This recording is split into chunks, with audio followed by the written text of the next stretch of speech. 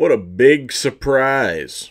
The, the, the election uh, turned out the way a lot of people expected uh, on the Senate. But first, Nancy Pelosi is once again the Speaker of the House. Did anyone really expect anything any different? I, I certainly didn't. Um, I, I stood behind the force the vote, still do. Um, and it remains to be seen if the quote unquote progressives did get any kind of concessions from Nancy Pelosi for her vote. But I'll be honest with you, it doesn't seem very likely. Doesn't seem very likely. And if they did get anything, I don't think it was that much.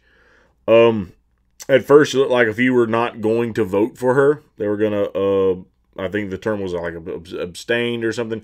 Within minutes, though, they they voted yes on like the second roll call or whatever. So n- nonetheless, all the the squad, or, or as uh, Jimmy has, uh, I think, appropriately labeled them as of late, the fraud squad. Uh, they've made sure that we got Nancy Pelosi as Speaker of the House again for the next two years. Okay, uh, didn't expect anything any different, but here we are.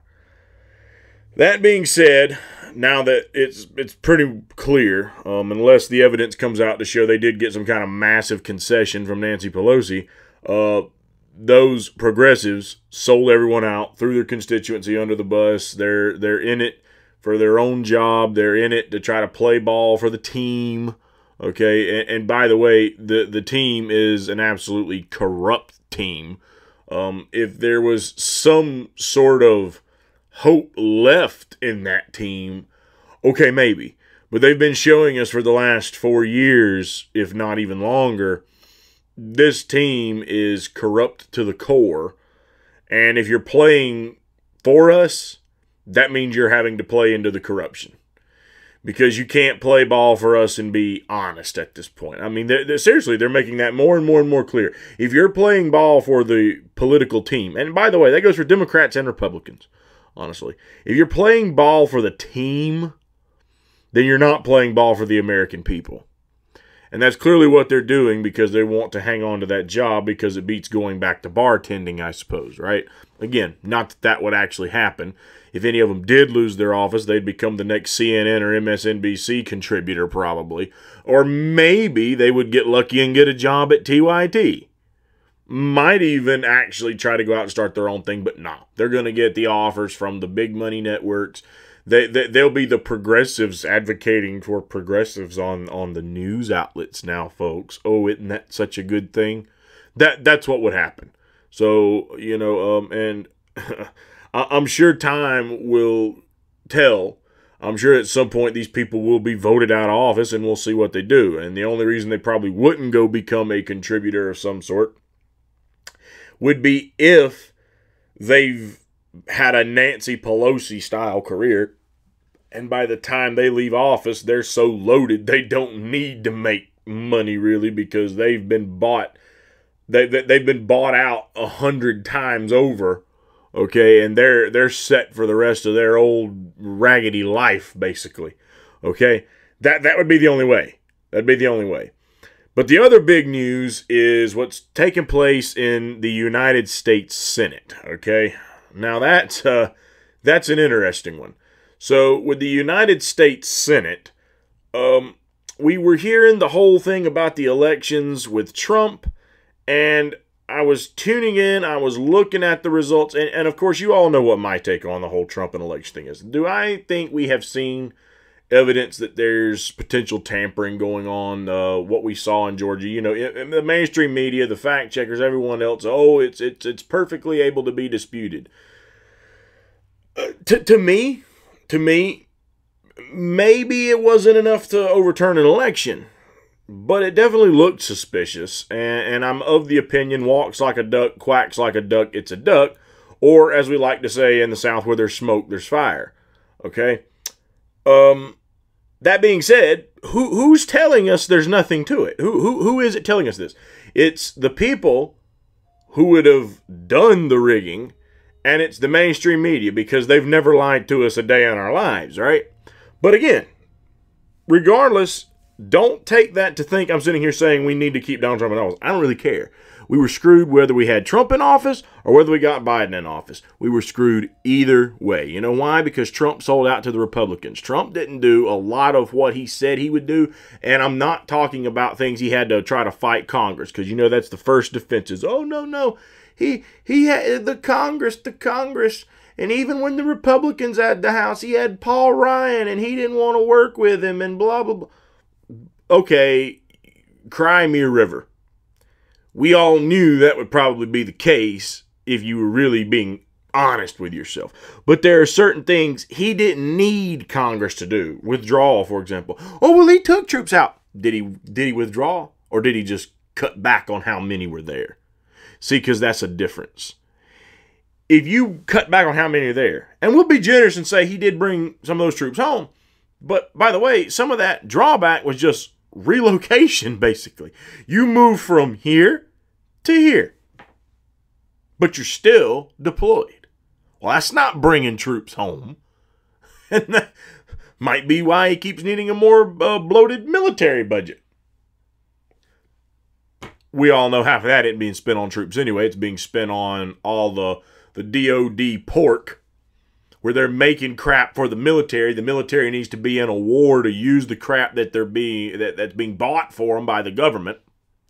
And if there's no war, that stuff can't be used. That stuff can't be used. All these DoD contractors and corporations who make crap for the military, well, they're not making any profit. It's a racket. It's a racket.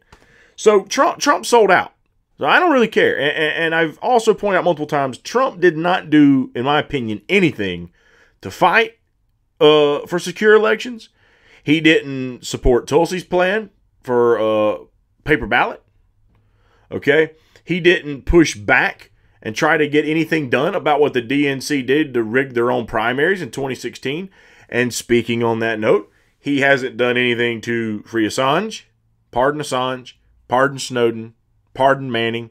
All the people who've been telling us the truth about this deep state, all the people who've been telling us the truth about the quote unquote swamp he wanted to drain, and he did nothing for them. He's done nothing for them. He left them outside in the rain to, to shiver in the cold and, and, and deal with the storm that is the deep state.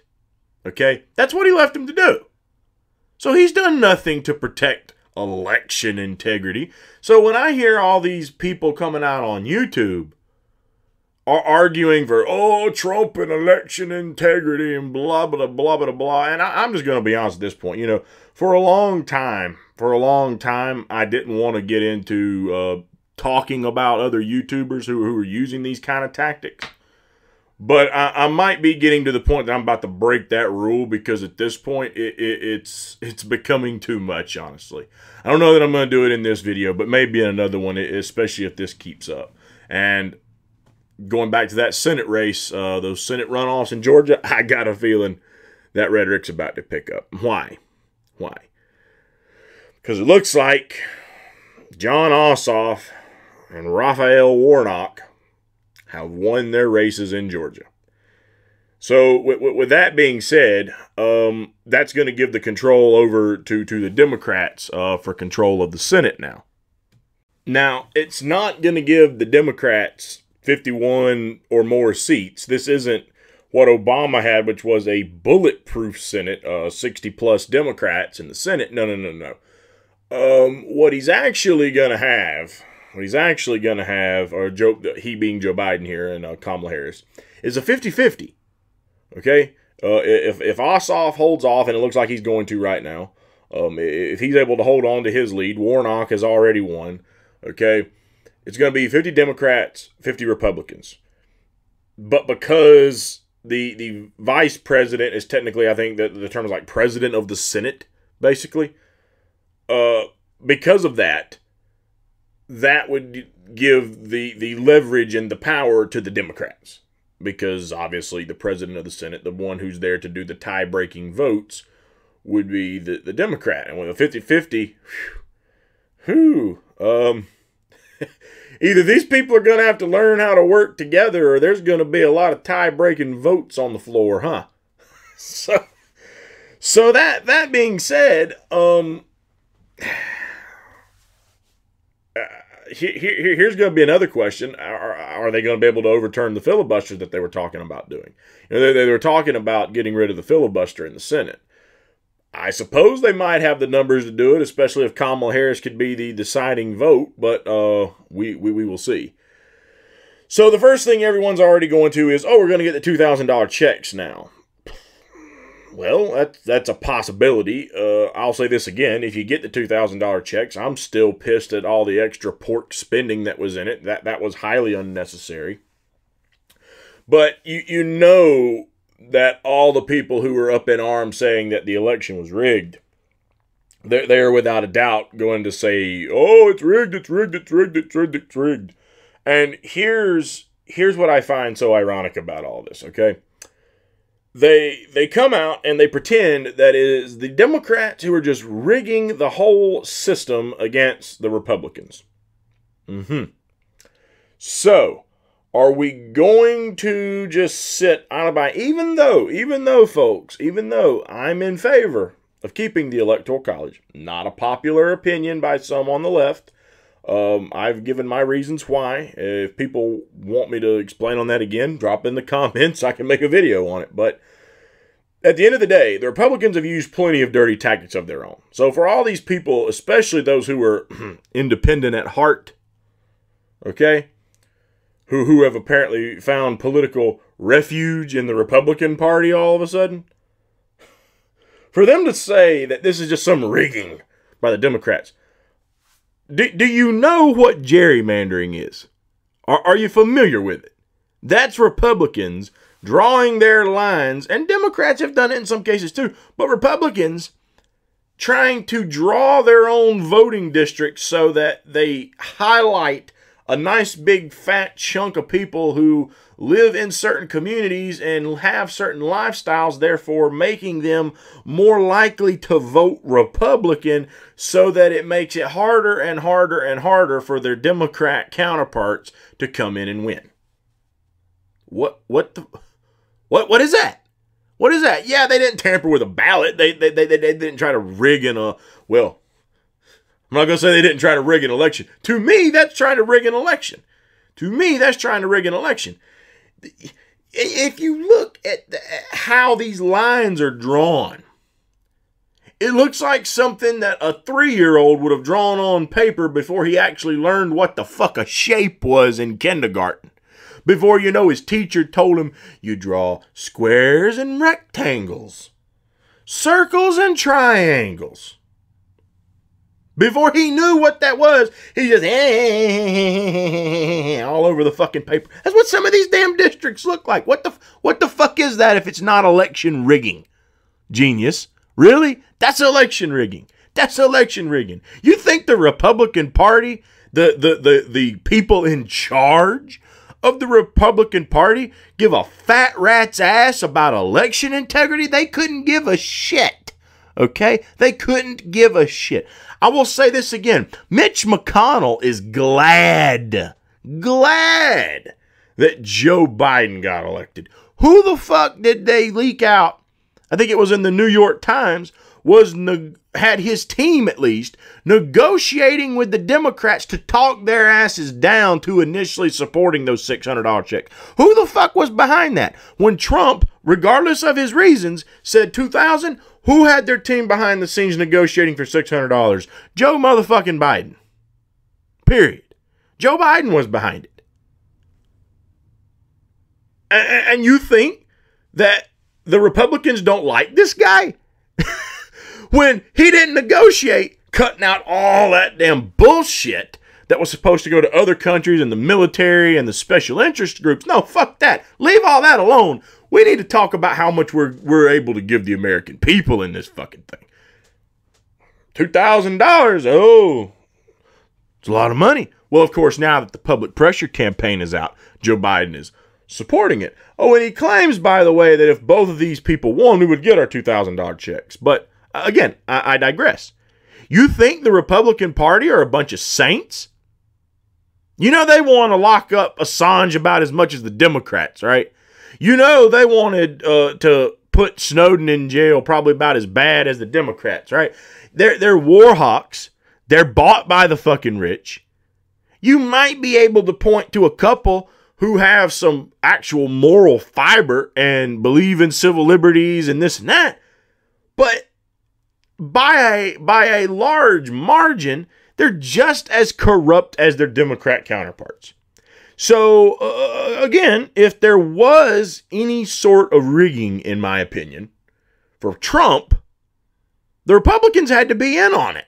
They had to be. I don't think the Democrats See, controlling your primary when the other side's not involved, well, how hard is that? The other side has no hand in it.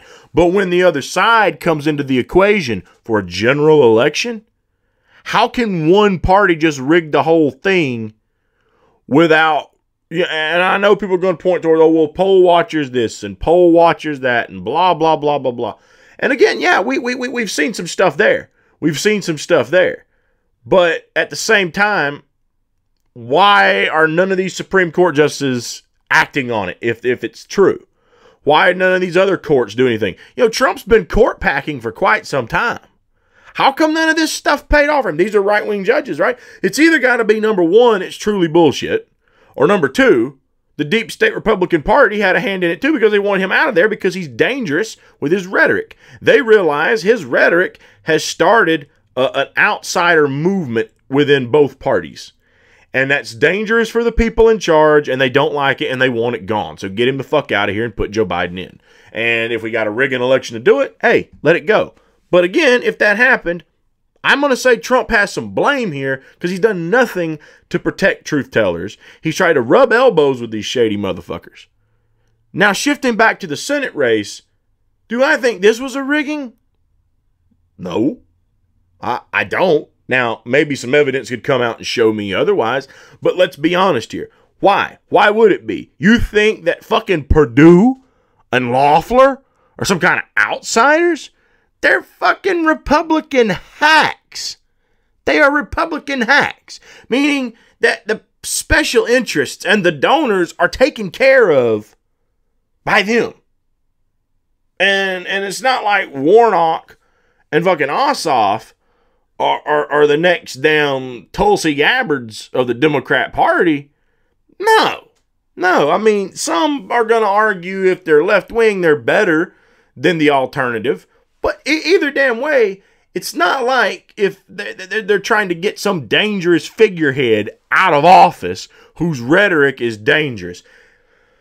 I, I, I, you're not going to convince me that uh, unless there's overwhelming evidence that just comes out and floors my ass, that the Democrat Party, if there is any rigging, are doing it by themselves. They, they, they've got to have some help. they they've got to have help from the opposite side of the aisle to throw the people that they want out under the bus. And I just don't think the Republicans want to do that to Loeffler and Perdue because they play ball for the team to the to the to the T. To the T. Okay? They they they are not the Trump kind of Republican. They're the Mitch McConnell kind of Republican. So why in the hell would the, would the Republicans want to help rig them too? No, it, that that that doesn't make no sense. That doesn't make no sense. So, but I know uh, I know what's going to be coming. I know there's going to be pl- plenty of people out there who are going to be adamant that we we, we we need to defend our election. And and by the way, it, it looks to me like um, there there's some uh, protests uh, today in Washington, and it looks like a group uh, or of thousands of Trump supporters have stormed the Capitol building. Now I'm reading on Twitter, some people are pushing back, saying it's it's probably not Trump supporters, like Antifa dressed as Trump supporters. I, I don't know. It wouldn't surprise me if it's Trump supporters. It wouldn't. Have, have you listened uh, what these people truly believe took place? They're they're reaching a point where they believe that they literally are going to have to, in some cases, probably fight to save their country. They're, they're, they're bought and sold rhetoric. And why? Because they genuinely believe that the Republican Party is the saving grace of this country. The Republican Party's been selling us out for years, too. They just don't apparently realize it, or they bump their head and, and, and, and forgot it. And now they just sit around on their YouTube channel going on these rants just like Castaway talking to Wilson the Ball.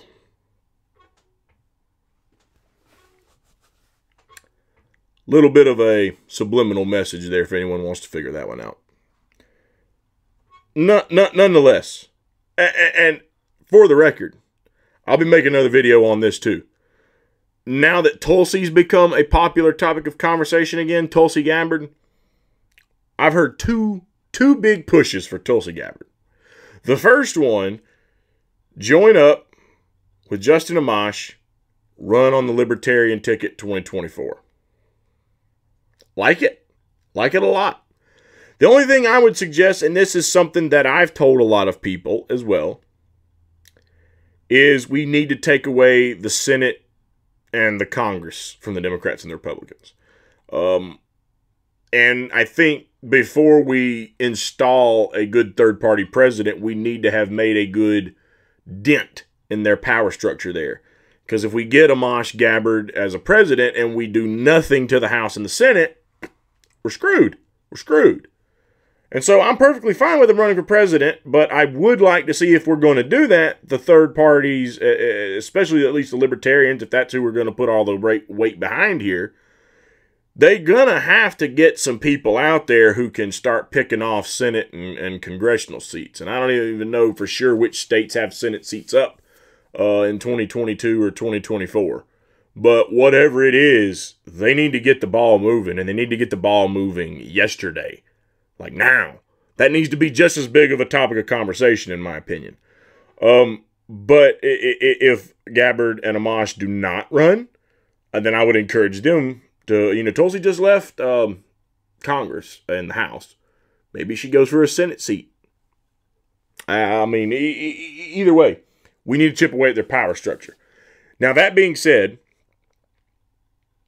the alternative option and this seems to be getting a growing number of support, is for Tulsi Gabbard to become a Republican.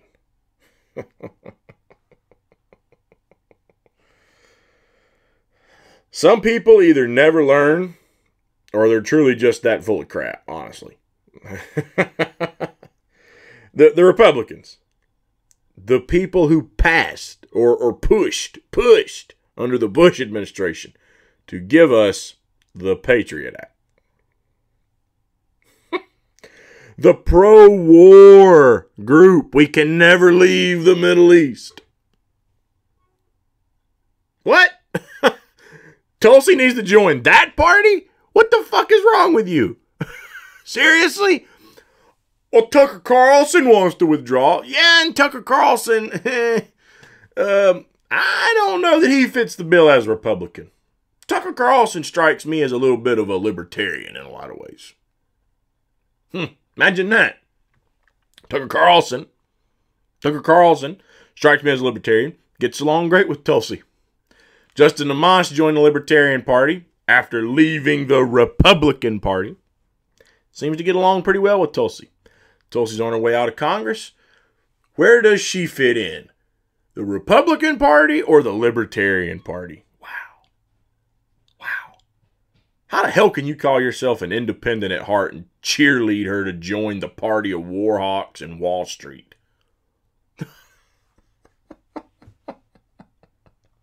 that's that's insulting, honestly. That, that that's simply insulting to cheerlead her to join the frickin' Republicans. Now we can argue. Oh, you might be able to point towards how you like certain people within the Republican Party better than a Democrat. But I'm going to be honest with you. I'm the analogy man. A lot of people love my analogies, right? To me, cheerleading anyone to jump from one of those parties to the other, Democrat to Republican or Republican to Democrat, I don't care which way, you take your pick. But to cheerlead one to jump from one to the other would be like being happy that someone left ISIS to join Al Qaeda, in my opinion. Both of them are fucking terrible. Get the fuck out of both of them. Honestly. N- neither one of these parties are worth a damn anymore. So leave. You know what we really need?